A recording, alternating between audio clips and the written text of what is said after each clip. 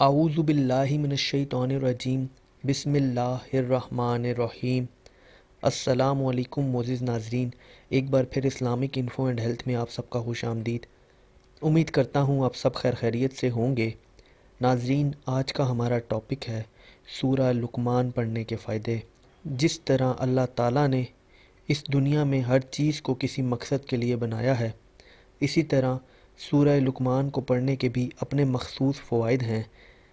کیونکہ قرآن پاک میں ہر چیز اور ہر بیماری اور ہر مسئلے کا علاج موجود ہے۔ تو چلیے اس کو شروع کرتے ہیں، لیکن اس سے پہلے اگر ابھی تک آپ نے ہمارے اس چینل کو سبسکرائب نہیں کیا، تو پہلے اس کو سبسکرائب کر لیں تاکہ آنے والی ہر لیٹسٹ ویڈیو آپ کو ملتی رہے۔ اور ساتھ ہی بنے بیل آئیکن پر بھی پریس کیجیے گا۔ اگر کسی شخص کے پیٹ میں شدید درد ہو یا پیٹ کی کوئی بھی بیماری ہو تو سورہ لکمان کو سات بار پڑھ کر پیٹ پر دم کرے، انشاءاللہ تعالی پیٹ کا درد جاتا رہے گا اور پیٹ کے مرض سے صحت حاصل ہوگی۔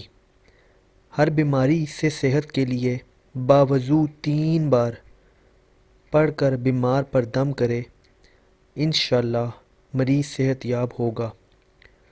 اگر کوئی شخص ہر وقت دریا یا سمندر کے سفر پر رہتا ہے تو اگر سفر کرنے سے قبل ایک مرتبہ اس سورہ کو پڑھ لے تو انشاءاللہ تعالی بخیر و آفیت اپنے مقام پر واپس ہوگا اور سفر میں ڈوبنے سے محفوظ رہے گا۔ اگر کسی شخص کے پیٹ میں ہمیشہ درد رہتا ہو تو اس بیماری سے پریشان بھی اگر ہو تو سورہ لکمان کا نقش باوضو لکھ کر پیٹ پر باندھے اور سورہ لکمان ایک مرتبہ روزانہ پڑھ کر دم کر لیا کرے، انشاءاللہ اس مرض سے نجات حاصل ہوگی۔ یہ صورت تمام امراض، نیز ہر قسم کے درد، شکم کے لیے اس صورت کا پڑھنا، لکھ کر گلے میں باندھنا، پانی میں گھول کر دینا نہایت مفید ہے، بلکہ سریع التاثیر ہے۔ بخار کے لیے بھی بہت مفید ہے۔ تو ناظرین، یہ تھے سورہ لکمان پڑھنے کے فائدے۔ امید کرتا ہوں آپ کو ویڈیو پسند آئی ہوگی۔